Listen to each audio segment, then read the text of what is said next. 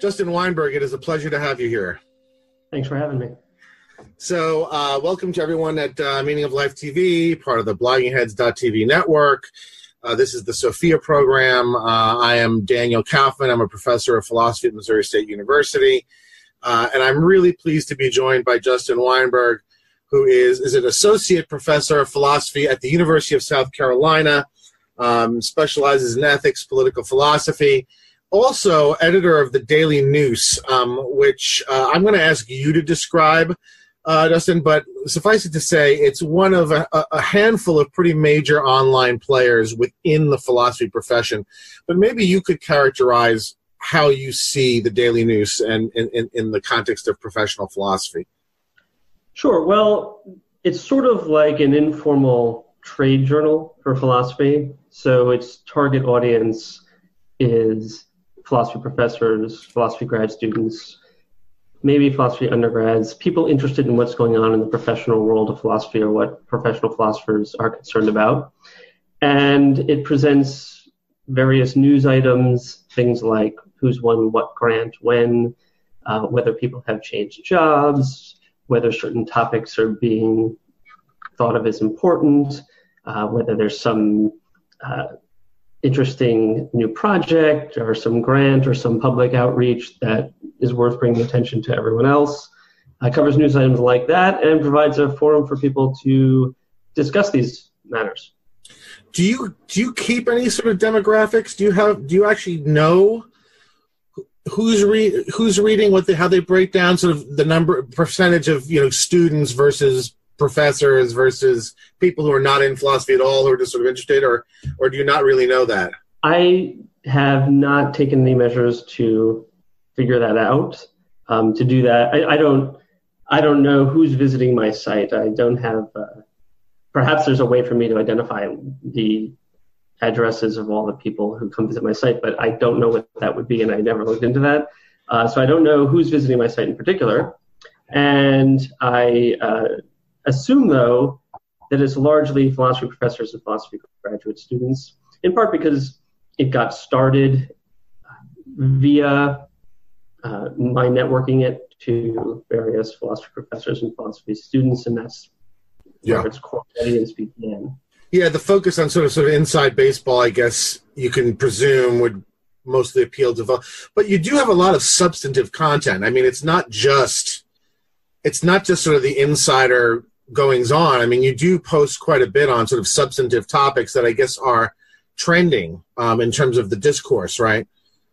That's true. So um, when it comes to substantive philosophy, I think that the subject area that gets the most attention at Daily Nous is meta philosophy, is what it is we're up to when we're doing philosophy, which of course is a, a natural concern and uh, matter of curiosity for a lot of philosophers. Um, apart from that, we deal with substantive issues regarding questions about diversity in the profession or what things people should be teaching, um, and and you know, matters like that. But when it comes to substantive philosophy, there's not a whole lot that's done in depth there, apart generally from you know, metaphilosophical questions. Yeah, yeah, um, and we'll get to this probably a little, little later when we talk about sort of um, the, the, online presence of philosophy. Um, but it does seem to me that one of the things that you do is that um, things that are trending topics of discussion that are trending in the social media universe of professional philosophy you tend to, to pick up on and sort of at least if not participate in link to it and maybe have a descriptive so so, so you sort of you, you got your ear to sort of what people are taught in the discipline are talking about not just within their professional i.e academic peer reviewed work but also what's going on in the informal discussion. Would that be fair to say?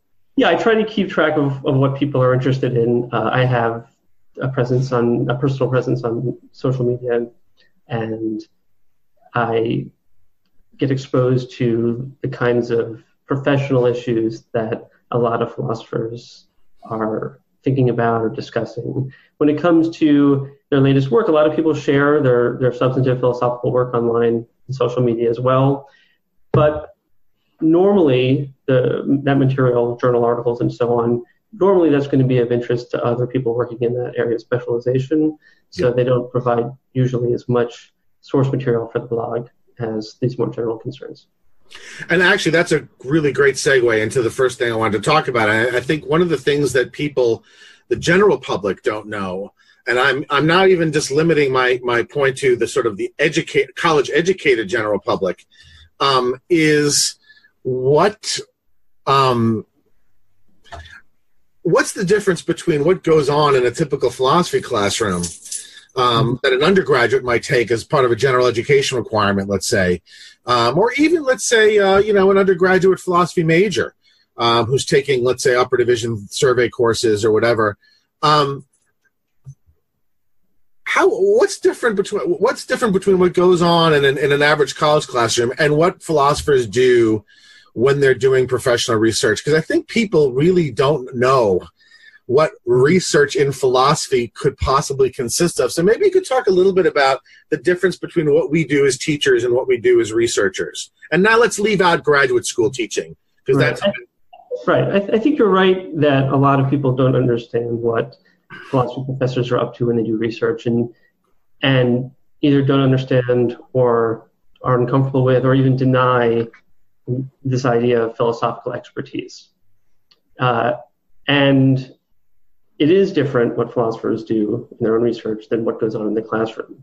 I take it that what goes on in the classroom, particularly at the introductory level, is we're trying to get students to be thoughtful. So our teaching is geared towards a certain certain ways of doing that. Uh, in part by having them question things that they've long taken for granted. It's a very common understanding of what philosophy is. A lot of times people don't understand that things that everyone thinks, we can put a question mark at the end of that and look into it. And so we have them identify latent beliefs and ideas in our culture and our society and our mental lives. And we teach them how to raise thoughtful questions about them, to think carefully, make distinctions as need, need be, and to try to articulate more well considered views in that sense, right, that skill set's a very basic skill set regarding various questions about us, our nature, our place in the world, our self understanding. That those and those kinds of questions and those skills are something that could, anyone can start off doing. That everyone can ask questions, but philosophy professors are really good at that and really good at showing students how to do that. So, in that sense, at that introductory level, there's a sense in which philosophy is something that I think is kind of familiar um, to the broader public. We're asking questions, uh, teaching people how to think carefully to raise questions. At the more refined level, philosophical research, well, um, if you think of philosophy as in part a kind of conversation, either you're putting your ideas out there in either in, in contact with other ideas that you can imagine or, or other people. And started off, you know, we have Plato's dialogues as a as a model for philosophy as conversation. Well, people have been talking about these ideas for a really long time, for various versions of these ideas for a really long time. And one of the things that you get through a more sustained philosophical education is exposure to a lot of what's been written on various topics and understanding where the conversation is proceeded. If you take any topic, leave philosophy aside, maybe you like rock and roll or jazz or art or something like that, anything that you know a lot about, okay, that you've talked about, and you compare the kind of conversations you can have with an enthusiast about that subject compared to the kinds of conversations you could have to someone who has just heard their first t- tune of that type, right? right. Um, right. You can just have much more sophisticated kinds of conversations because the, the shared uh, knowledge you have with the other experts is more in depth, more in detail, more informed, and further along down the road. Questions that are novel to a beginner might be old hat to an expert. But the experts keep answering, keep looking into various questions, and raise new questions, questions that wouldn't make sense to someone who's just starting out uh, because they're so far down the path of inquiry. Could you give it a can you think of easily, like handily, like an example of a question both in its first incarnation and then in its second. That's sort of might give people sort of an illustration. I don't know why I was thinking that something epistemic might be useful, but but what, anything that come to mind for you that um, could indicate the two different levels of the same concept or the same question? Um, one of my favorite family of examples comes from metaethics, which is for your audience the st- studies about how how we can know anything about right and wrong and what the ideas of right and wrong refer to. So the metaphysics and epistemology of ethics. People are often struck by a certain kind of metaphilosophical question, which is something like, is morality real? Mm. Like, is there something out there, or are we just making this stuff up? Okay, and that's a basic metaethical question. If you look at any metaethics textbook or work, um, many of them have these wonderful flowcharts that start off with a version of that question.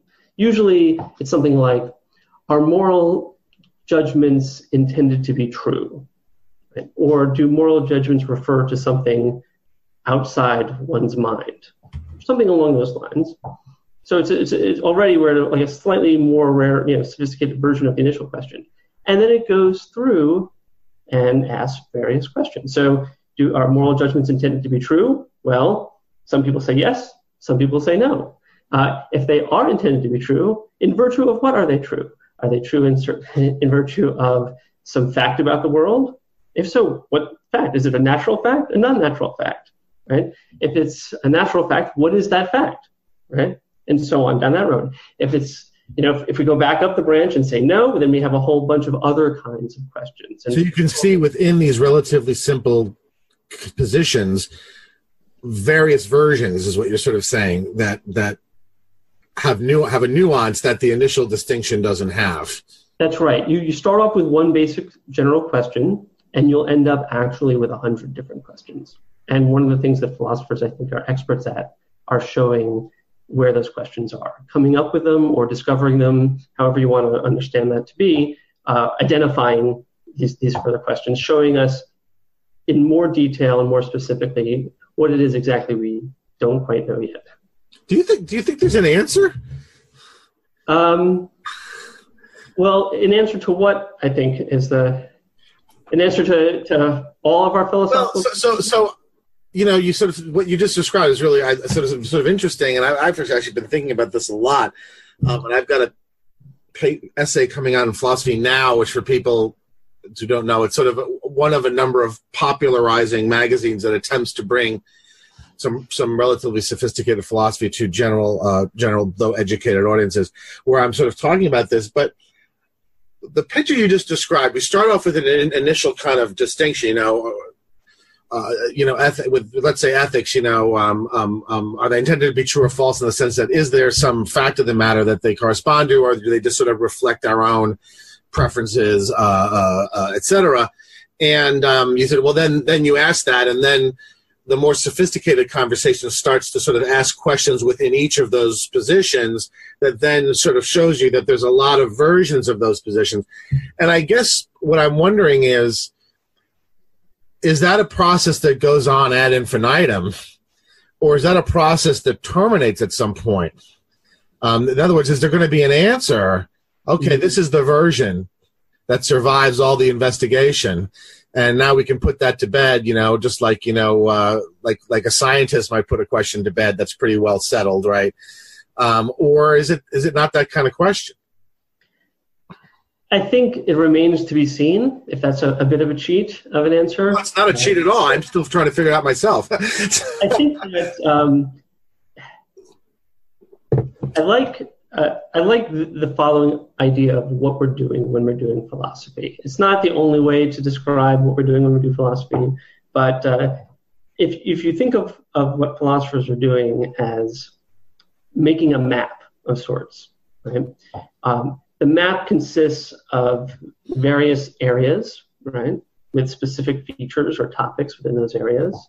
And about each of those topics, we can ask bigger and smaller questions and what we can do is make various distinctions that help us form possible answers to those questions. So here's a, there might be a question about the nature of morality, like, uh, well, if moral judgments are intended to be true, are any of them in fact true, right? Uh, one possible answer is yes. One possible answer is no, right?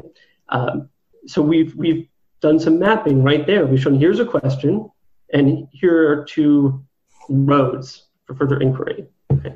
And philosophy, the whole collective enterprise, could be seen as this map making enterprise where we identify questions, topic, topics, questions, and then various possible answers. Now, uh, I think that's an enormous intellectual contribution right? because what it's doing is, in a way, cataloging or discovering or creating um, a body of knowledge about what it is we don't know um, or what it is we can ask about. Uh, so, if we think that um, learning is important, that knowledge is important. Uh, if we're mapping out various open questions that need answering or addressing or inquiring, whether in philosophy or maybe we parcel that to another discipline, um, we are providing a valuable intellectual service there. Uh, now, someone might come back and say, are any of these routes, you know, um, better than the others? Right? If we're mapping out the possible routes, we're like checking for logical coherence and things like that. Um, how can we can we figure out which road to take, so to speak, which is the right one? Uh, and I think a lot of questions about, you know, what are we doing when we do philosophy? Are we ever going to come to some kind of answer? Are are asking that? Uh, and I think the answer to that question is is is difficult. In part, it's because it depends. Yeah. I'm of the view that we certainly can make certain um, we can pick certain answers rather than others when it comes to various small questions. Uh, in this, I follow uh, this philosopher uh, at, uh, I believe at ANU, uh, Daniel Stoljar. He has this really interesting view that we can understand, uh, we can sort of classify, I mean, there are lots of different ways to classify philosophy questions, but, you know, small, large, and topical. And we have answers to small questions. Here's an example of a small question Does so and so's theory commit a fallacy of this type? Does or doesn't? When we can figure that out, right? Or so, so, so we do have answers to some little philosophical questions. It usually doesn't satisfy the, the person who's asking, Are we really getting philosophical questions? Because they're not asking about does so and so's theory commit some fallacy. They want to know, you know, what's the relationship between the mind and the body or something like that. Uh, and Stoljar says, well, look, there, there are those, those huge questions like what's the relationship between the mind and the body, but those are more topic setting questions than, and it might be that we don't yet have definitive answers to them, but that doesn't show us that we can't make other kinds of progress by answering these these questions in the middle, these middle-sized questions. Yeah. Uh, and so one of, one of his examples of this is, well, his way of doing this is to show that we've come up with better ways to ask certain questions. So he, he goes through Descartes' version of asking about the mind body problem, points out that it relies on certain mistaken conceptions of what matter is that uh, are crucial to his argument. Right. And then says, so we don't ask it, we really don't ask Descartes' version of the question anymore. And he contrasts that with uh, um, Jackson's version, Frank Jackson's version of the question, which is, is, is a different kind of question. He's like, these are about the same general topic, but they're different, and it's a form of progress because we've learned that this is not the right way to ask this. This is right, right. Now, if I say one more thing though, it, so we would say, but still, what about this big mind-body problem or the nature of ethics, right? What about that? We don't have an answer to that. Do we think that philosophy will ever have an answer to that? And if no, what's the point? And I think a, a useful analogy is something like biology. We might not know in, in philosophy how the mind interacts with the body or what the mind is or something like that. But in biology, they don't really know exactly how the body works. How the body works is still an open question in biology. Right? There are all new, dis- new discoveries every month about how the body works. Um, two striking ones um, recently. One is it was just last year that scientists discovered that the lungs play a role in making blood, like a really important role in manufacturing blood, something along the lines of what bone marrow does. right? Just last year. It's not like lungs are some new discovery or that we haven't been cutting these things right. up for hundreds. You know, we, we're pretty familiar, and still, making blood's pretty important. We've learned that. Um, another example is our microbiome, right? Uh, all the microorganisms that live within us that make up a substantial amount of our body mass, um, but are not of human DNA, apparently affect our well-being in all sorts of ways that are just being discovered. Um, so, this biologists don't have an answer to the question, how does the body work? They're still working on it, right? But we wouldn't think that just because there's this huge open question, how does the body work, when biologists make progress on smaller questions, they're not making progress. They are, right? Likewise, if we can make progress on some of the smaller questions, we too are making progress, even if some of you know, these topics remain as topics of inquiry.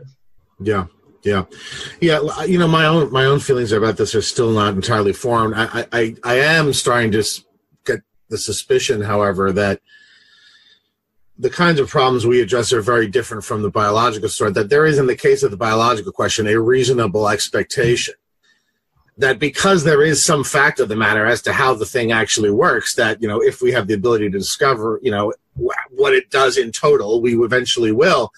Um, but that the philosophical questions, I'm increasingly inclined to think uh, are not those kinds and part of the reason I think that is that is not it's not just the perennial quality of the questions, but it's that the position. First of all, pretty much every position that's in that map that you described uh, is held by a pretty credible uh, or more than one credible person. I mean, you know, just take realists and anti-realists, right?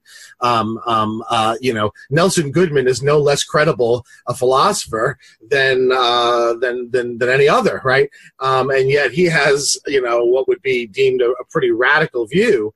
Uh, about about the f- fundamental nature of reality, and you could just sort of sort of run that down the line um, so, so for one thing, there are pretty much people represented, very credible people represented across the map of positions that you're describing, and that doesn't seem to be changing anytime soon.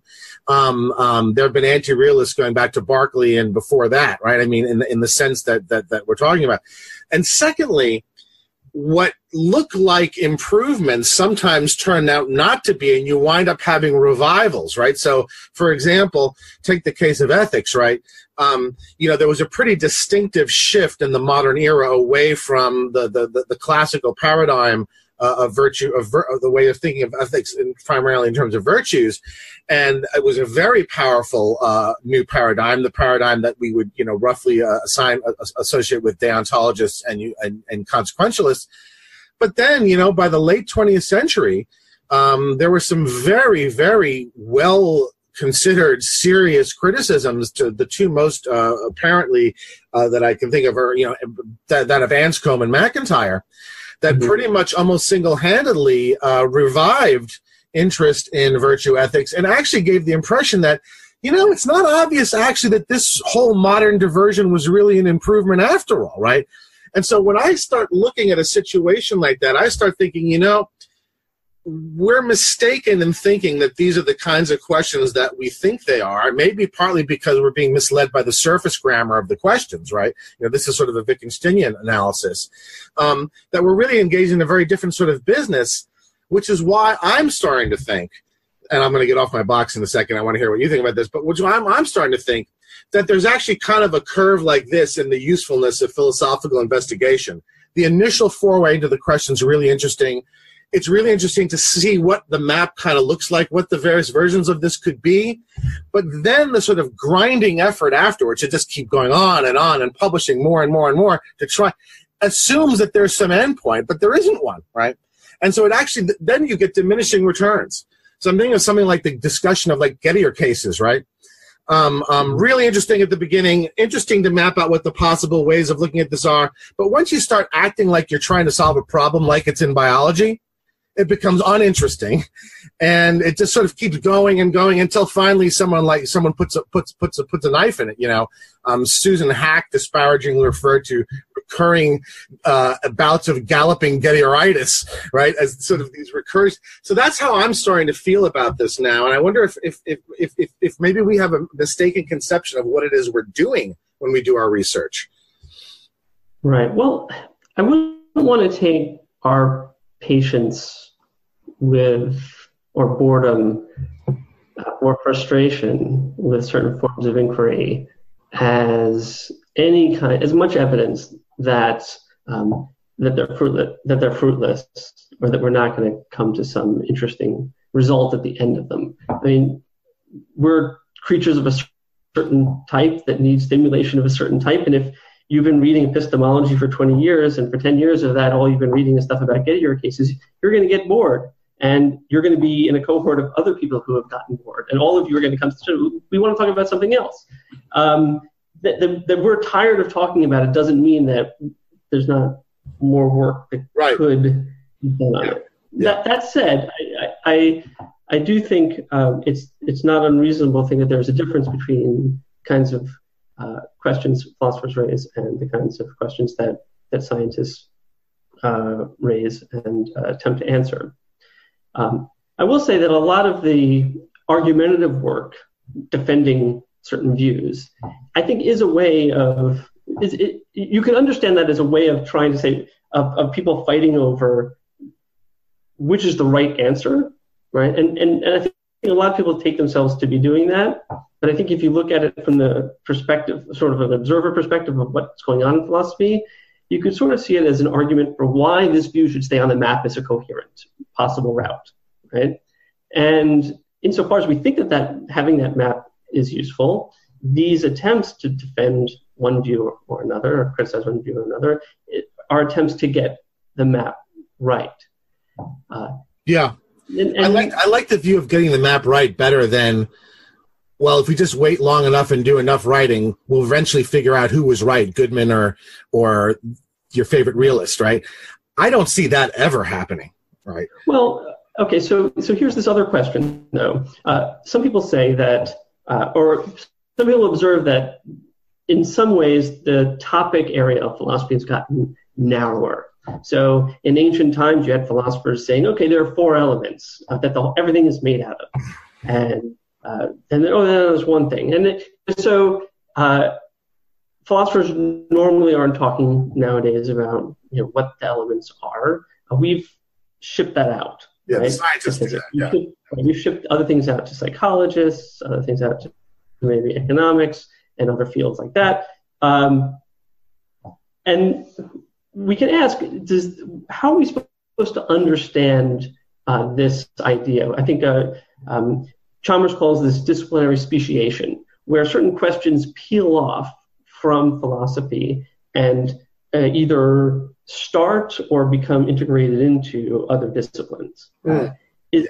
is, it, is, is that a form of philosophical progress where we've come to the point where we've realized here are the questions, we've done what we can do, and now we've learned, maybe as a culture, uh, that there's a way we can start trying to tackle these questions, and it becomes a science or another form of inquiry. Right?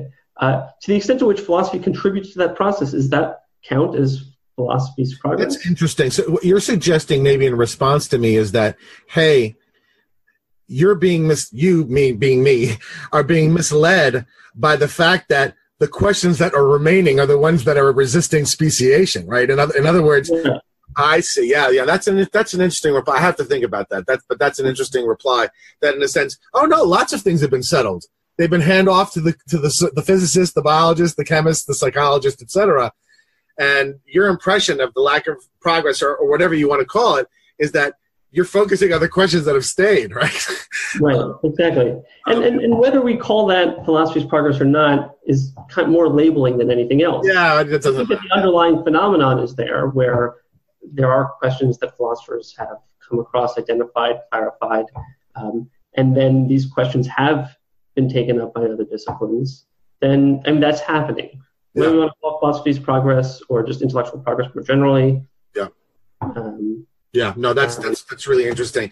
Um, and um, um, let's just um, talk a little bit um, because look, as two philosophers, we could talk pretty much about anything. But I mean, the reason I really wanted to have you on in particular is, is because you are connected in a way with the profession that a lot of people, other professors simply aren't, by virtue of the blog that you host, um, um, which which which has has quite a quite a bit of uh, influence and, and, and, reach in the sense that a lot of people are reading it who are in the profession, and um, and you're pre- you're really you really sort of keep up with what's going on in a very uh, contemporary fashion. Maybe you could describe for the audience your and I understand this is your impression. Um, your impression of to the extent to which there is an institutional framework within professional philosophy what is it how do you see it?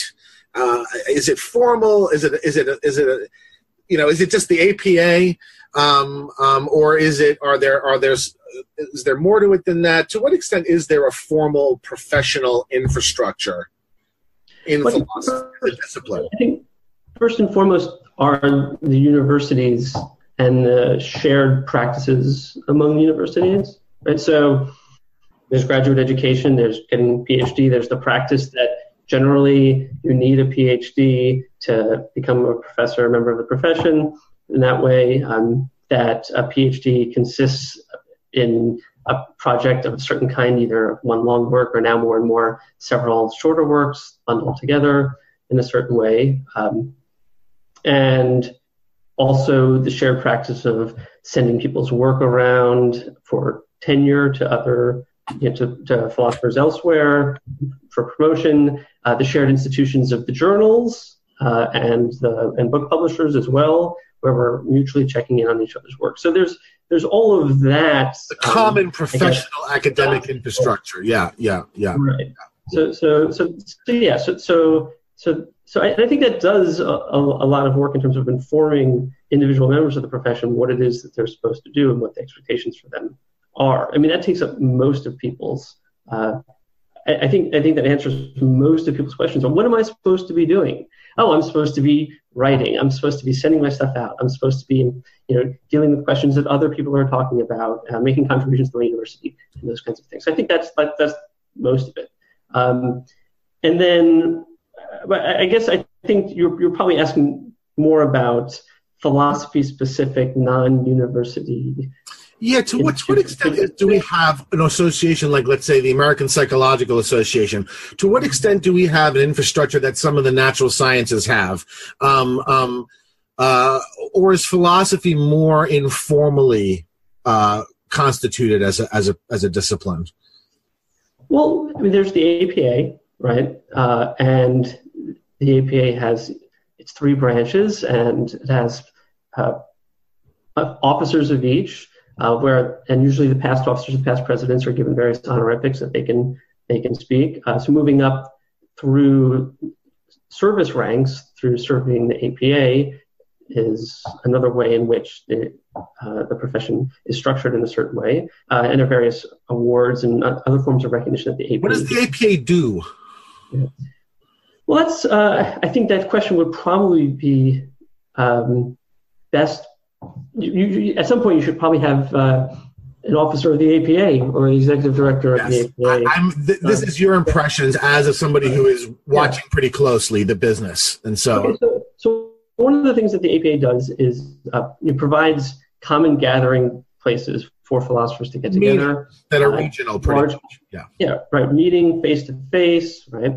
And at these meetings, um, through the program committees, you have some kind of uh, you get some kind of impression about what topics are important, right? The program committee has to figure out if they're going to have any special sessions on any particular topics, if they're going to have any author meets critics sessions on particular books, and then of course they have to make decisions about which submitted papers get accepted, right? These are all judgment calls about what counts as good philosophy, what counts as interesting topics, what counts as new developments that are worth exploring. And they also have various sessions on professional matters. Uh, so uh, two years ago, I was part of a panel on funding and philosophy that uh, was put on. And it, you know, this is not substantive philosophy, but it had to do with the nature of funding of various projects. Uh, and so those professional issues come up uh, as well at APA. So I think uh, it, it's a way of recognizing various substantively philosophical and also professional matters of interest. Um, and uh, so that's that's and then also recognizing good philosophical work, either you know by giving people various awards, giving them spots on the program, yeah. giving them author meets critics.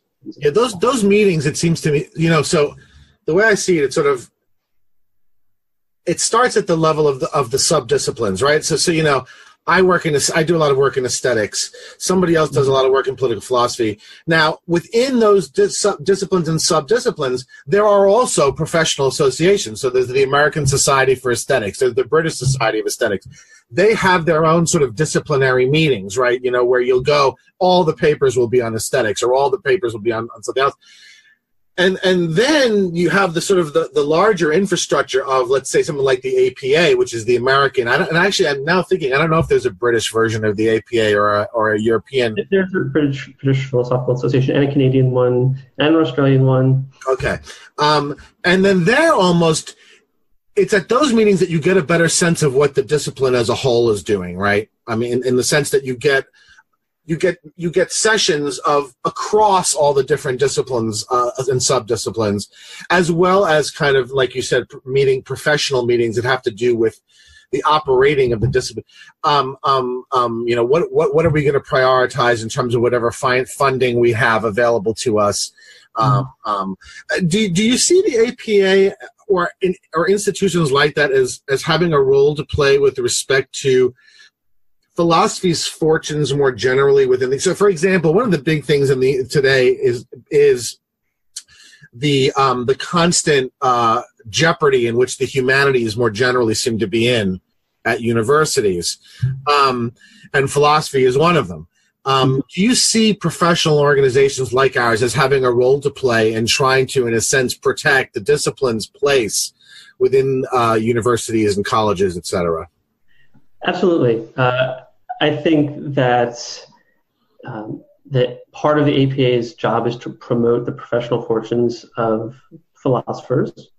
Uh, there are other things it does too, which apart from the meetings as well. Um, uh, but uh, the APA does engage in various projects that are intended to do this. So they have various funding for public outreach programs, uh, for innovative teaching programs, uh, I was a member of the committee uh, for public philosophy for the APA, and it sponsors an op-ed contest to encourage philosophers to engage with the public. To do what we're doing. Also, yeah, do what we're doing, but also, yeah. I mean, um, you know, uh, both op-eds, you know, in, in, papers like the New York Times or LA Times, uh, but also in small local venues or magazines and online and online venues. So it does do some outreach. Uh, it also occasionally and on um, matters that are related to academia or to philosophy. So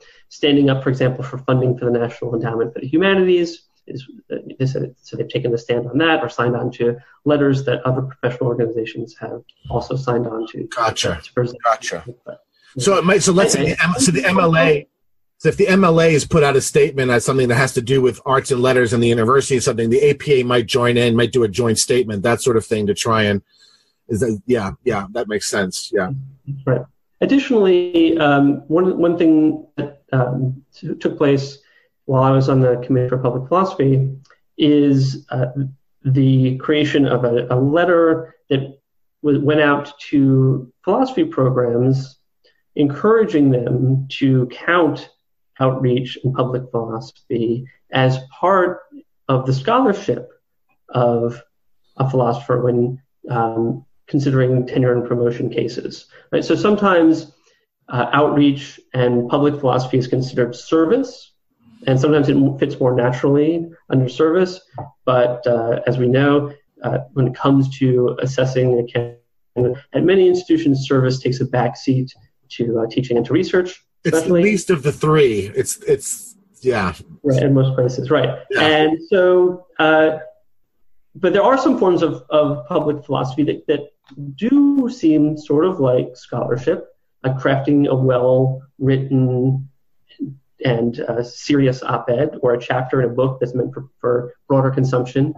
And the idea was that for those forms of uh, public philosophy, that they uh, departments should recognize those as scholarship, right? To take them more seriously. So that's a way of, of working within, you know, for directing a message to the institutions that are probably most interested in what the AP has to say in the philosophy departments to get them to also encourage.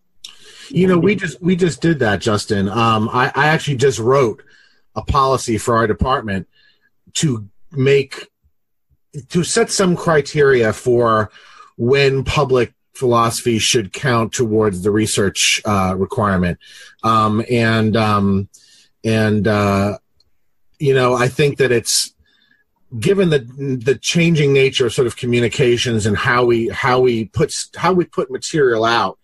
Um, um, it has to be done. It had to be done, right? I mean, so much work now is being done in these sort of nebulous nebulous in the sense of we don't yet have categories for them uh, media that um, something like that had to be done. Now, I wrote the policy very conservatively, so it wouldn't be abused, right? Mm-hmm. Uh, but I guess that as we get more comfortable, as we sort of start settling in and start seeing what the landscape looks like now, are, are you expecting that most departments are going to successfully move at least some public philosophy out of the service category and into the research category, or are you skeptical?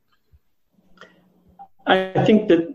What do you see? Those, what do you for see? those versions, so um, I think it'll happen on a, it's kind of going to be a case by case basis depending on the, the type of project, right?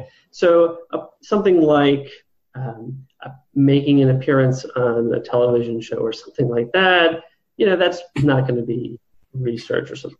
But uh, but but writing a writing a chapter for a book that's meant for public consumption is probably more likely to make a case for that counting as research. Then there are these things in between. Uh, so uh, maybe you're developing a week long philosophy summer program for underprivileged youths. And you're, you've been trained as a philosopher, you haven't been trained as someone who's going to teach underprivileged youth.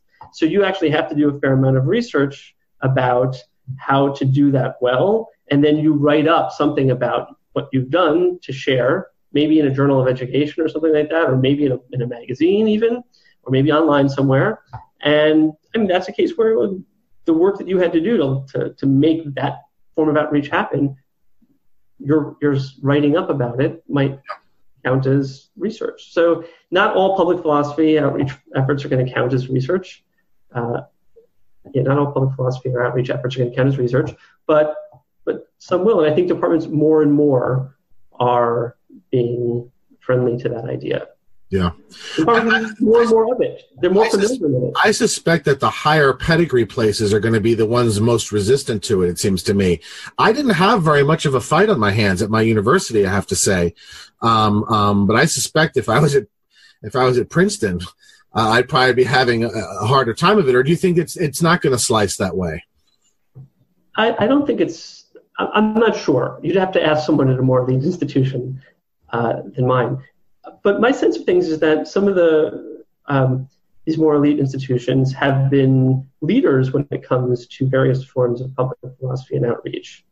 Uh, so like these MOOCs and stuff, or are you are you thinking about something well, else? Yeah, MOOCs, but you also have you know summer pro. So PIKSI, which is uh, I can't remember what the what the acronym stands for, but basically it's a philosophy program for uh, I think college or pre-college students uh, from backgrounds that are not traditionally represented in philosophy, and they and and, and it's, it's people from those places that have created and developed those kinds of pr- programs. Um, the, many of the ones that I'm familiar with, I'm sure there there there are many at various different institutions. Right. Um, but uh, I guess what I want to say is that those kinds of some, at least some of those kinds of programs have been developed by the very institutions, uh, the kind of institutions you had in mind just now. And I, they're not doing it um, for nothing, I would imagine. Uh, they're doing it because the department as a whole thinks it's a valuable endeavor worth supporting. Yeah, yeah, yeah. I, am I'm, I'm wondering what you think of this. My impression is that there's actually a tremendous hunger for public philosophy. Um, I don't think you can explain the absolutely insane rise of, of somebody like this Jordan Peterson fellow, um, who I, you know I don't particularly have much use for. I'm more interested in the fact that he is so popular. Now, yes, part of it is because you know he's whistled whistling to a bunch of um, you know sort of alt right folks, But you know, that doesn't explain why somebody would sit through, you know, six hours of maps of meaning lectures, right? I mean, or, or some other things. In, in other words, I, I almost am wondering whether we wildly underestimate actually how much how much taste there is for this kind of uh, stuff in the public. Um, um, uh, you know, the blogging heads folks told me some some dialogue I did with uh, with a, a, gentleman on on Kant on Kant's ethics. No, no, it was Kant's. Excuse me, it was on the critique of pure reason. Mm-hmm. Had something like twenty five thousand you know, which you know, which for for a philosopher, you know, you're just like, holy crap, that's amazing, right? Is it your impression that actually we're kind of to a great extent underestimating the public, um, um, and that actually there's quite much more of a taste and desire for this sort of thing than maybe we give credit for? I think there is a, there is a taste for it. I'm not sure for underestimating it because one of the things that we should acknowledge is just how much public philosophy is out there. I think more so than at any period of time in the history of humanity. Could you give a sense have, of that, of your impression? Give me some. Give me some. Well, so, so here thing. So, so there's this, the Stone, which is the column of the New York Times. So so the leading paper of record in the United States has a regular philosophy column. Um, that is something that we did not have. Plus, they have a philosopher in the magazine section doing the ethicist. The LA Times has printed a number of op-eds from philosophers. Fortune magazine, oh, sorry, is it Fortune or Forbes? One of those two, I cannot remember which one right now, regularly, strangely to my view, publishes articles having to do with philosophy. Two publications I know of, Quartz, which is a large online magazine that's owned by the Atlantic Group, and the Irish Times have philosophy, have journalists who are, have philosophy beats. Huh. Um, uh, I think they cover other things, but philosophy is in their beat, and both of those uh, publications have regular articles on philosophy. That's just some examples in news, right? Then look at the broader culture, right? You have blogs, more blogs. I follow so many philosophy blogs. It's part of my job running Daily Nous is to sort of see what's going on, and so there are hundreds of philosophy. Is blogs. it actually? Is it actually hundreds? Uh, I probably follow around 150, but That's there are more that have, uh, you know, that are tiny that don't get updated that often, or that, you know, but yeah, I mean, and there to varying degrees of activity. But yes, there's there's very many because some philosopher somewhere who you've never heard of will start a blog, right? And I, I there's it's there's no systematic way for me to catch all these things, but every once in a while, some link to something, or and I'll add it to the list of websites I keep track of. Uh, so, so there's tons of philosophy blogs. If you look on uh, Quora or Reddit, there are various philosophy discussions going on there. If you um, look at, you know, beyond the internet to look at entertainment, entertainment is uh, suffused with philosophy. Uh, I guess the most popular example of this would be that NBC sitcom, The Good Place, one of whose characters is a moral philosopher. Uh, and they've you know it's a silly show in my opinion you know it's amusing it's especially amusing for philosophers because the characters are referring to other philosphersyeah. tim scanlon uh, and his what we owe to each other plays yeah. a significant role in the plot of that uh, sitcom which is is uh, uh, it's very surprising. It's very surprising to see. Or you know, anyway, so there's that. Uh, there was this other show um, that uh, I think was on HBO that featured a, a, philosophy professor, another sitcom that was a former philosophy professor became a biology teacher. Right? Then you have just philosophically interesting shows, um, Westworld, for example, which I think yeah. is one of the most interesting television shows ever made. Is raises a variety of philosophical questions and isn't shy about it. Yeah. So uh, I think there's there's really a lot of philosophy in the popular culture. Yeah, I think you're right last year, my philosophy department's philosophy club, pretty much their programming for the entire semester was every other week to watch to, to watch an episode of Black Mirror together and yeah. have philosophical discussions. Um, and I guess there's also these even outside of universities, there are these philosophy cafes that have gotten pretty popular. Have you ever participated in any of those, uh, Justin? I have not participated in a philosophy cafe. Uh, a few years ago, we did have a film series, a philosophy and film series here at the University of South Carolina, and students and occasionally members of the public would come. We'd watch a movie and then we'd talk a little bit about it. There were different people in the philosophy department who were uh, invited for particular movies. Um, yeah, we've done things like that. I haven't been to a Socrates cafe. Um, I mean, I will say that there there are also, um, in addition to the blogs, there's tons of podcasts as mm-hmm. well, uh, and some of them are getting quite good. Uh, so you you have uh, you ones like this, which are conversations, uh, and others uh, that are that are more conversation oriented, like um, Very Bad Wizards with uh, Tamler Sommers. Uh, but uh, some are very high production now. So have you listened to Hi-Phi Nation? No, I've heard of, I've heard of it, but I've not. You know, I don't get out as much as I'd like to. Um, why don't you say something about it quickly, if you? Well, so this is put together by Barry Lam uh, at Vassar, and he just does a marvelous job of um, bringing philosophy into stories that people are already going to be interested in. Mm. Uh, and so he'll start off with something like, oh, there are these bizarre findings of, about psychics. When they were tested by scientists, it turns out that psychics did an above average job, self self identified psychics did an above average job at identifying what was on the other side of a card that they couldn't they, they, they couldn't see. Right? And so and so he, he starts off and he talks about that and interviews one of the one of the you know alleged psychics and and you're like I don't know where the, I'm listening as a philosophy professor. I'm like where's he going to go with this? Is it going to be like a right. mind thing? Is it you know epistemology thing? It turns out brilliantly it's the segue into the philosophy of statistics and scientific and um, ah. significance. It's brilliant uh, and the ways in which various values inform scientific methodology um, and so, but it's so compelling from start to finish. And then production wise, it's, it's sort of like listening to like an NPR magazine show or something like that. It's just really good.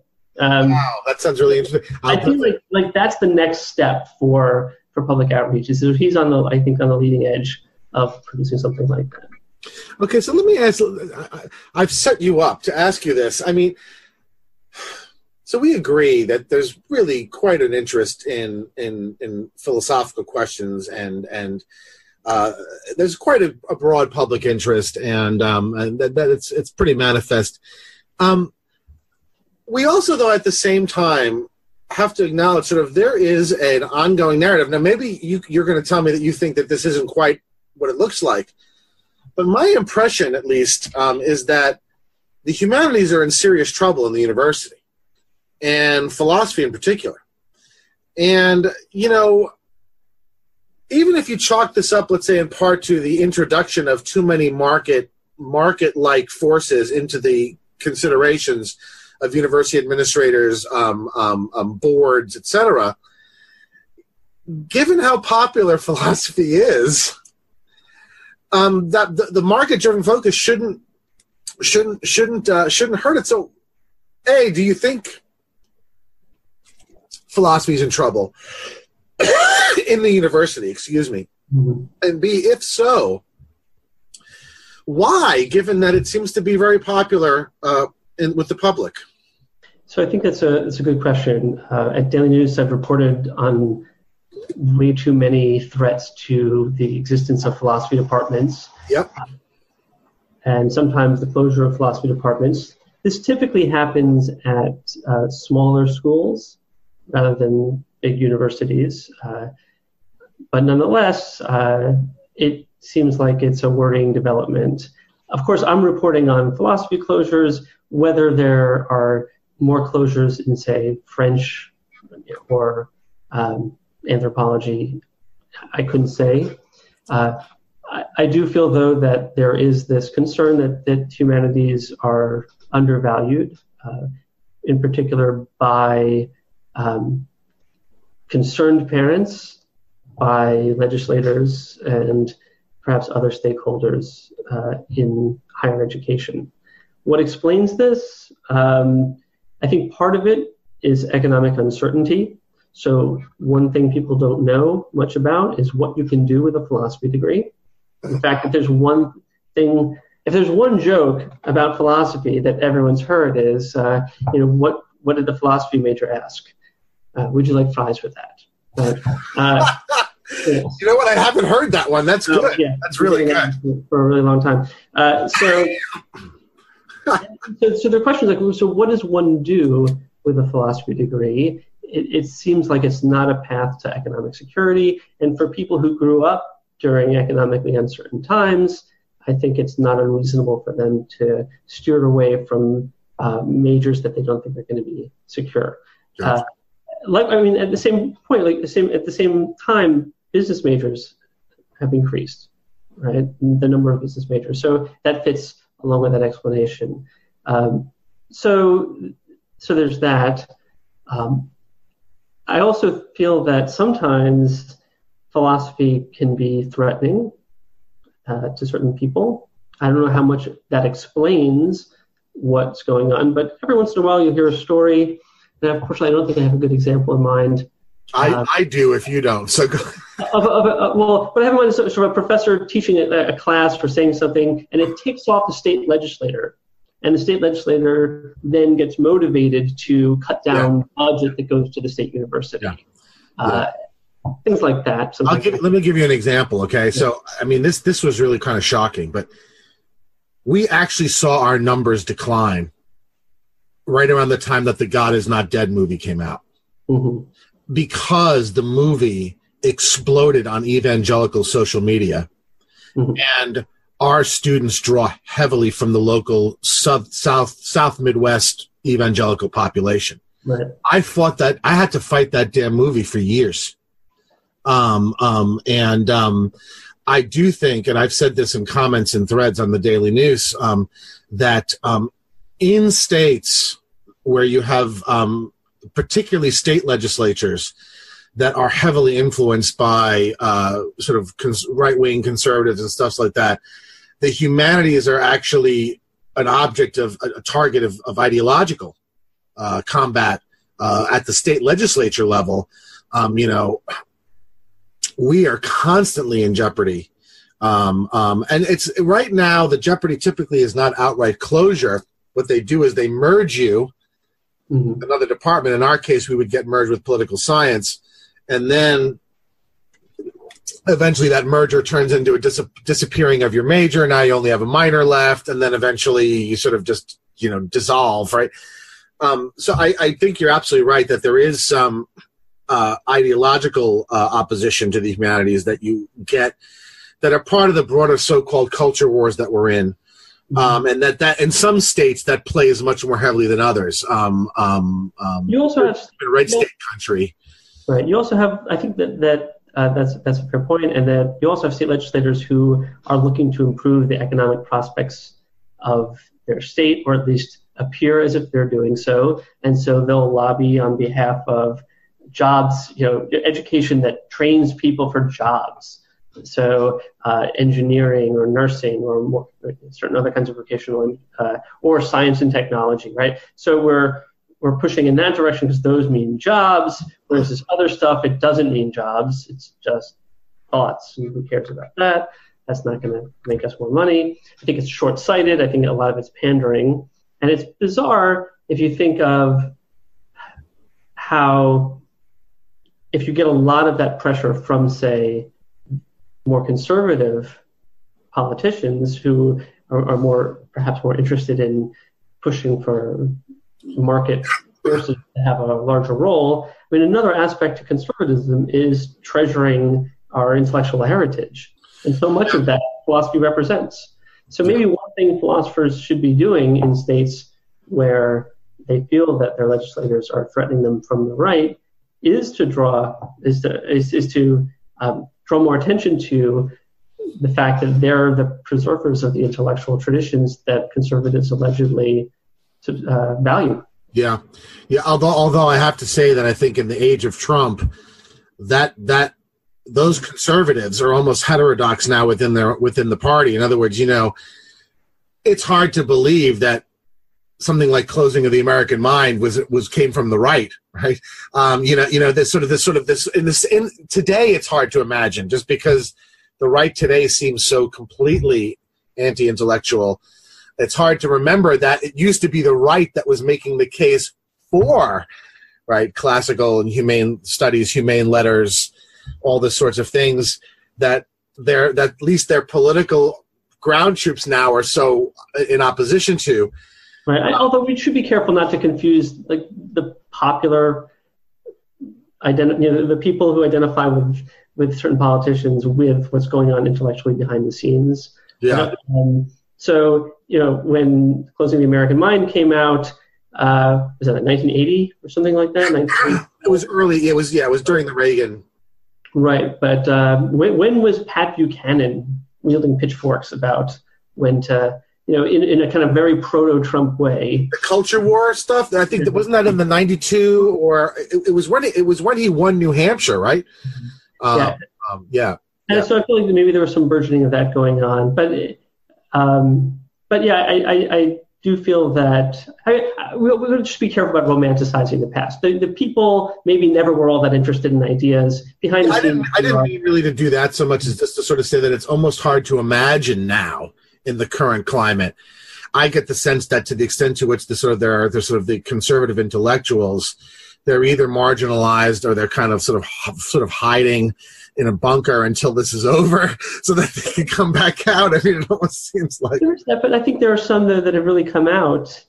Um, but it's also that the conservatism has changed too. I mean, if you think of conservatism um, as somehow reacting to what's going on to changes and you know, what was it, uh, William F. Buckley standing athwart history yelling stop, right? Well, history is always changing, so what they're yelling stop at is always changing too. Yeah. And so conservatism changes with the times as well. And so who are people on the right today? They might look different from the conservatives from 20 years ago, and the especially the conservative intellectuals. So yeah. uh, I think of people like, um, at least you know, the, the some some libertarians right share some overlap with conservatives and there, there are very many intellectually active um, libertarians who yeah. are defending libertarian views, uh, particularly like these bleeding heart libertarians, um, people like uh, Jason Brennan, uh, people like Jacob Levy.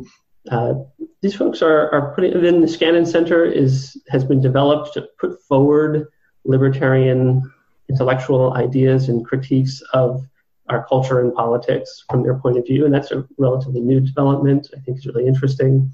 So, so there is there's that. I, I will say you, you do get less of, uh, from what I can tell in philosophy, less of a defense of re- cultural conservatism and uh, or religiously motivated conservatism. But yeah. you get plenty of defenses of religion.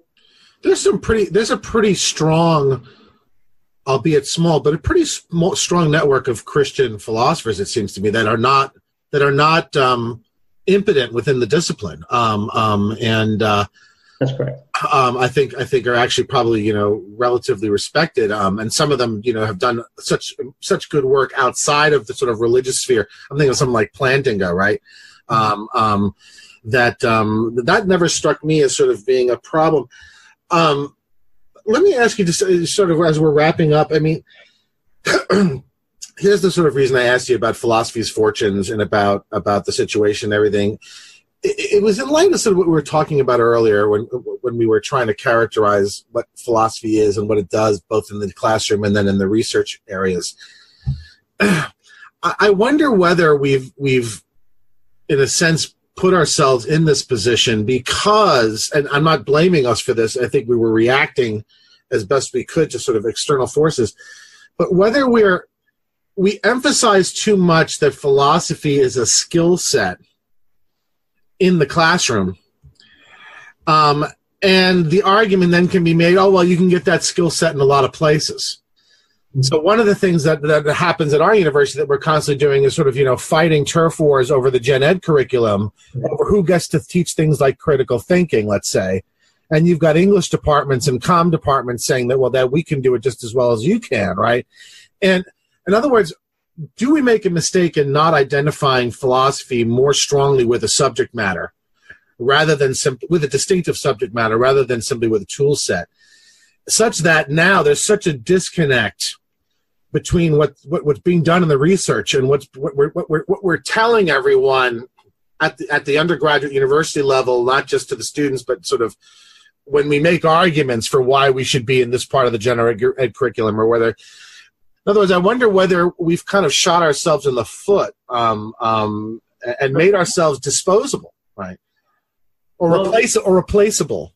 The phenomenon you describe about uh, turf wars over who's teaching critical thinking uh, an emphasis on ethics um, i think that's that's definitely there uh, in addition there's some empirical research that I'm aware of that disappointingly doesn't show that one's choice of major affects one's capacity for critical thinking. You'd think that philosophy students would be better at that. The data, to the extent that I'm aware of it, does not show that. Uh, furthermore, critical thinking skills, uh, according to one study, don't really take in a student until after their second logic like course. And it doesn't matter if that course is in a philosophy department or, say, in a math department or something like that either. So the empirical evidence to, to the, degree that it exists does not appear to robustly support philosophy being uniquely well suited to teach these things, but perhaps that's an opening for more careful empirical work, perhaps done by interdisciplinary teams that have philosophers on them. Uh, one promising note for such research is that philosophers, when engaged in certain kinds of empirical research, have done better than the traditional practitioners of that. So if you look at the uh, replication crisis in psychology, yeah. Uh, if the percent, I mean, of course, there are a lot more results in psychology that are, have been not found to be replicable. But experimental philosophy, which could be described as philosophers taking up many of the tools of the social sciences when it comes to um, doing opinion research and statistics and so on, um, they they have no replication crisis. They've looked into it. Uh, people have looked into it. Turns out the results are fairly stellar compared to, to psychology as a whole. So maybe philosophers should get together with others and look into the actual empirical benefits that philosophers often tout. That said, right, whether we're doing it too much is, is kind of a it's a strategy, almost a marketing question. And when um, we're confronted with some of that, I sort of want to say ask the experts. We don't ever ask marketers what should, how should philosophers package themselves to today's students, right? But it's not clear that we shouldn't be doing that. Like, these people sell stuff to our students all the time right? If we're interested in selling philosophy to them, I feel that they probably have certain forms of expertise or inside knowledge that uh, that we should be paying attention to. Uh, it's normal for us to tout the skills because we want students to think that it's worthwhile to take a philosophy class, even if it's not what they're going to end up studying. Right. On the other hand, I think that you know we do risk losing that distinctive uh, subject matter emphasis that might attract uh, some students and also point to philosophy special value. What is that makes the most sense as a strategy for philosophy department? It's hard to say. So it sounds to me like you're a little ambivalent, or at least you're not yet settled. I mean, my inclination has been to sort of increasingly emphasize the, the, the, distinctive subject matter over the tool set. In other, in other words, you know, if you asked if you know if an undergraduate or someone an administrator asked me to make a case for why philosophy should remain in the curriculum i'd give a very similar kind of answer as to why uh, history should remain in the curriculum and that is that you know there is a there there is a sort of a, a, an ongoing uh, uh, long-standing narrative across a number of distinctive subject areas uh, in questions that you need to know in order to be able to participate in your civilization, right? Um, um, and that without it, you really you you are ignorant in a way that makes it very hard to function um, um productively, uh, both as a citizen uh, and even as a private person. Um, um, that this is, you know, in in other words, I, I guess. I, I, want I'm inclined to try to make a case for philosophy that's not rep that's that that that renders it not replaceable uh, by something else. But it seems like you're hesitant to, to go. Well, I, I, do worry that what you just said is falsifiable. I mean, falsified. Um, there, there are plenty of people who get on just fine in society not knowing anything about philosophy and don't feel uh, embarrassed or intimidated by their lack of knowledge because most of the people they're interacting with are similarly situated. They're doing just fine, right? You could say the same for history, though, couldn't you? I mean, I mean, so what answer do you give to why should history be in the curriculum? If not an answer like the one I gave, what answer do you give? Um, well, so, so well, I mean, I, when I I don't have to answer for for history uh, usually, but to to say something about I think probably along the lines of what you're getting at when it comes to philosophy is that philosophy takes up certain questions that other disciplines tend not to about understanding ourselves, understanding our beliefs, um, understanding our world. And it's just that other disciplines, and some people often define philosophy this way as the kinds of questions that are left over from other disciplines, but, but we ask kinds of questions that, at least at present time, do not seem settleable by appeals to science or technology or history or tradition or literature or the arts, right? We have a, a certain set of, questions here, uh, and we can point to what those questions are. Like, what when we say that something is true, what do we mean, right? Or what what does it mean to know something? We are the ones who are asking those kinds of questions, um, and so you are inclined to go a little bit towards the direction of hey there is a distinctive and unique subject matter here. It's not just a tool set of critical analysis reflective you know reflective equilibrium or consciousness. I mean you are inclined to say no there is a distinctive subject matter here. Yeah i'm sure there's there's there's no doubt overlap. There are ways in which other disciplines approach these kinds of subjects but there's our tradition here anglo-american philosophy in the early 21st century is has inherited a certain mode of inquiry from and certain subject matter from people who've done this kind of work before and have called themselves philosophers.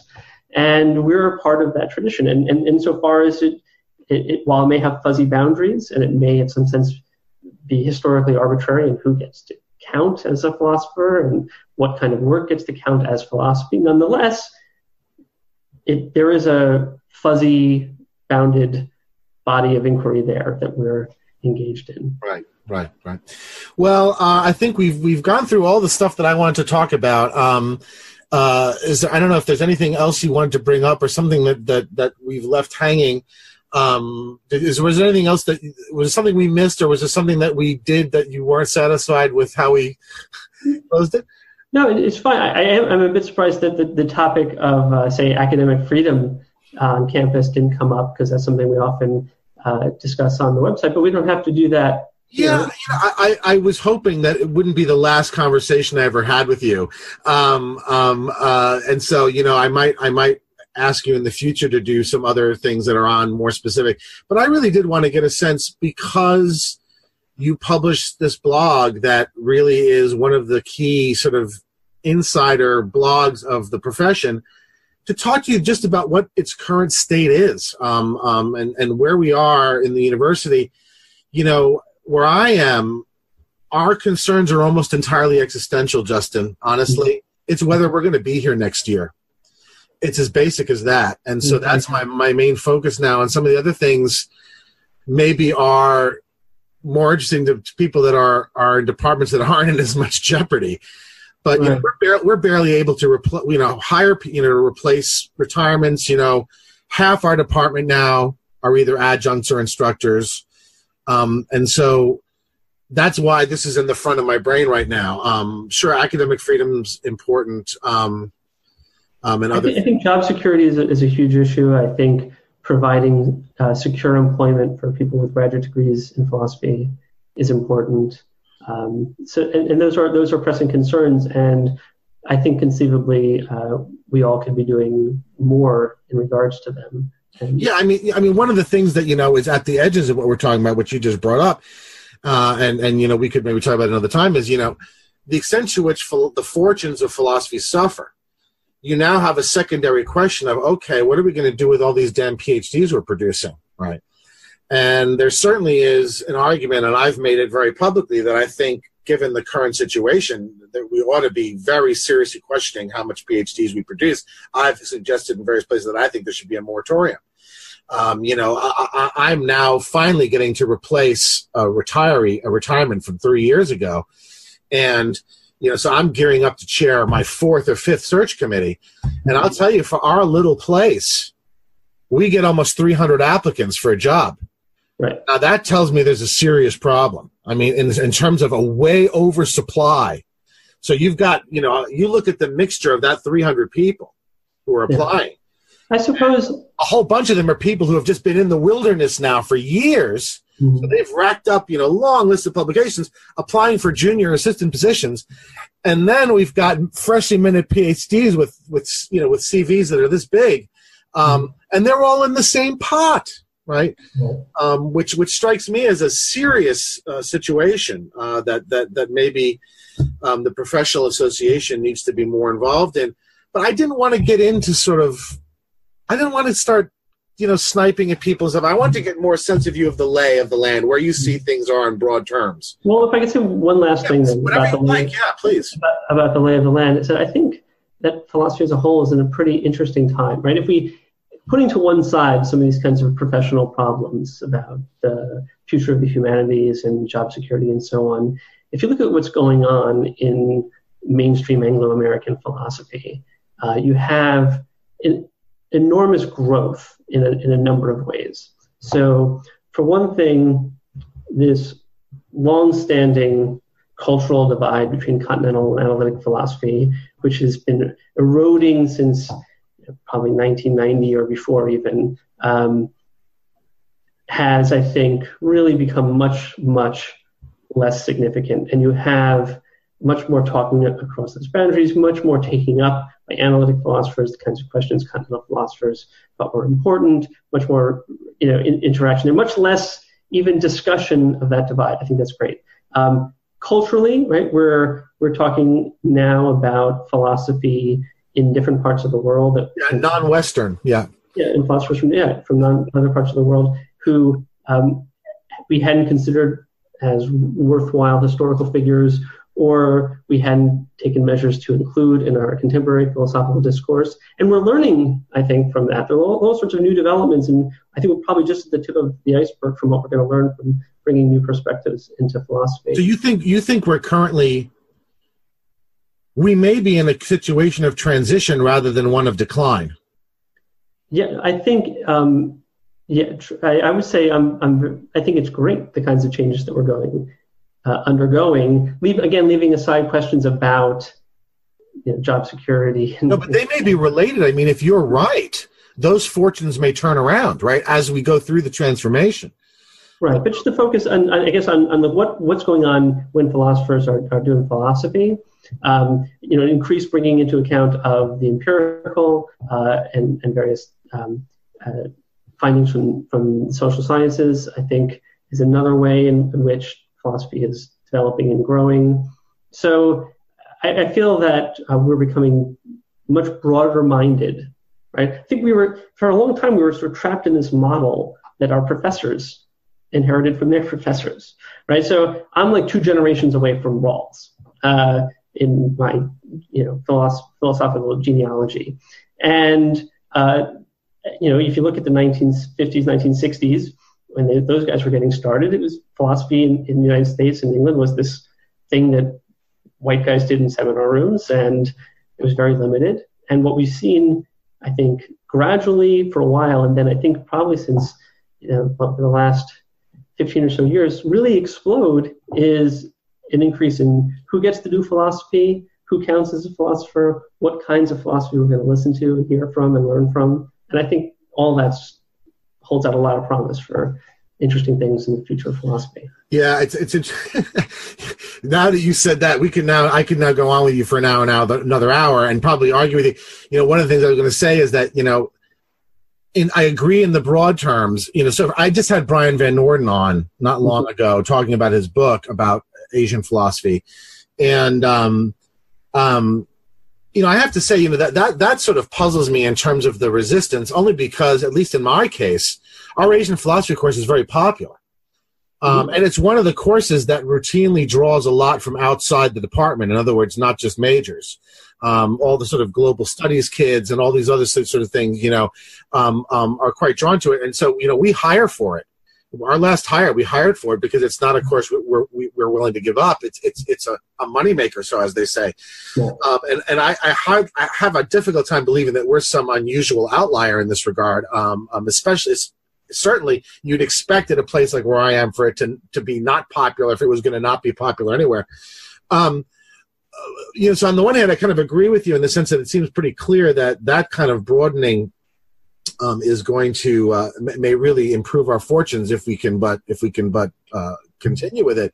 Um, but then on the other hand, you know, when you said like what you said about you know white guys and being able to do philosophy, you know, I don't know. I mean, maybe I was just educated in a really unique way, but gosh, I mean, my undergraduate and graduate education was full of women philosophers very strong figures going back to the 50s and, and and i actually think you could argue that the women philosophers from those bad old days are much more impressive than the current ones. I mean, there are no Anscombes walking around, right? There are no Philippa Foots walking around, in my opinion, at least. And I wondered more generally whether you think I'm under the impression that we're now in a, ser- a situation where we're not really quite replacing with quality with quality. I, I, I almost feel like with the generation of Davidson and Putnam, with that generation going, we're not we're not we're not replacing with people of the same caliber it seems to me or is that just wrong? So i think this is an area over which we'll disagree. Um, yeah, yeah. let's just let me see if i can take what i think might be the, the least controversial uh, response. Yeah give me your version. What do you see? statist- statistically what you've said about women professors women philosophers is very unlikely to be true right? So you think there are Anscombes walking around well, People that's another quality. agreement. It's not clear to me that the fact that there that were there fewer Anscombes walking around that would be bad for philosophy. I'm not a huge Anscombe fan, but but just leaving that aside, right? No, I think we have more and better philosophers existing today than than ever before in the history of humanity. Okay, uh, that's interesting. If you, if you take like you know take up the broad say 20 year period up leading up to now right? You got to take a significant amount of time right? But um, and and when they strike us when we look around like where are the Anscombes if you want to use Anscombes or whoever the Hilary Putnams or whoever right right. Yeah. Uh, well two things have happened right? Uh, that allow uh, two things right? One is the filter of history has sort of cleared the landscape. And what remains from that era are ah. identifiable figures who yes. we've dealt with and thought worth considering for a while. Two, We're forgetting about all the rubbish that walked around at the same time as Anscombe, is what that, that often happens when we think about the past, right? Because what we remember is the stuff that others have deemed worth remembering. Right. The other thing is that the level of philosophical quality has probably risen such that there that it's harder and harder to stand out. Mm. Right? But that doesn't mean that people aren't doing work on par with what these other thinkers have done. It just means that more and more people are doing that. And it's just harder. It's just, as we all get better, it gets, each person's carrying a smaller piece, sort of what you're well, saying. It's not that we, we, I mean, maybe, maybe I want to say that there are hundreds of people like Hilary Putnam doing philosophy in the United States today. It's just that uh, we don't notice them because there are a hundred of them. They're not sticking out. I mean, if you look at, if you're a fan of technical analytic philosophy, I mean, it's unclear that what's going on today is uh, worse than what was going. I mean, it, there's a level of sophistication and, and, and depth that you have going on now that was quite rare in the past, right? And then when it comes to women philosophers in particular, I mean, this last year you had um, Kate Manne's book, Down Girl, come out. And I think this is probably going to, that book is probably going to be one of the most significant books of the decade when it comes to philosophy. What's interesting about it is that, as you've said, we've had women philosophers do work for a while, um, but nonetheless, there's something new in this book, right? Something new that's based on consideration of the lived experiences that women have undergone, including the author, and then that material is taken and the best tools of contemporary Anglo-American philosophy are then put to work on looking at that experience and seeing what we can learn from it philosophically, right? So um, what's new is that here is that okay, here's this phenomenon. that people experienced, she was able to put a name on this, to develop it in a philosophically sophisticated way. Um, why now? Why didn't this happen 20 years ago? Why didn't this happen 40 years ago? Um, maybe there wasn't enough people doing women doing philosophy then. Maybe the kinds of expectations about what counted as philosophically serious topics didn't include what makes women's lives different from men's in certain ways, generally speaking, right? So as we, I think as we bring in new perspectives, new people who have different kinds of experiences, and as the kinds of questions that confront their kinds of lives come to be taken seriously by philosophers, we're going to get more and more interesting kinds of philosophy. Well, that is certainly interesting, and and um, I see the argument. You know, I I also see where I would go. You know, this does to me connect back to the question about that arc I described about how long and how much it's fruitful to pursue a philosophical question, and maybe part of my reason for thinking that uh, we're in a period of dwarfs relative to relative giants is because maybe I'm maybe I'm inclined to think that some of these things are being now beaten to death to the point to which the, the discussions really aren't that productive or interesting anymore, and the and the fine grain is getting so fine grain that it, it's going to the point to where beyond what I think is philosophically interesting. But I mean, that's that's you know obviously highly disputable, and um, and in other words, I almost could see two versions, two stories about this, yours and mine, that we could we could have a really interesting argument about. And maybe when after this piece comes out in philosophy now, where I kind of make this case somewhat substantially, we can talk again um, um, because I do think that there's a lot of interesting areas there um, um about what we're doing, about you know uh, uh, who we look up to, about how we you know how, how we think of the the future next generations of the discipline, and so on and so forth. But uh, today, what I want to do is to sort of get an overview from somebody who really does is connected in the sense that you really are paying attention to what's going on in the profession in a way that somebody like me just isn't. I mean, I don't, you know, I have my little slice of it and all of that. And so um, uh, it's very useful uh, to hear your perspective, um, and um, I, I, greatly appreciate it. Well, I appreciate you having me on. Uh, it's very nice of you. It was a pleasure talking with you. Yeah, it was the same here, and um, uh, I will be asking you to supply links um, to all some of the things that we talked about, some of the things, whatever you think is interesting. some of those blogs you're talking about, that incredible podcast that you described, which uh, mm-hmm. sounds really fantastic, all that sort of thing. Uh, thank you very much, Justin Weinberg, and I hope to talk to you again soon. All right, thank you. Take care.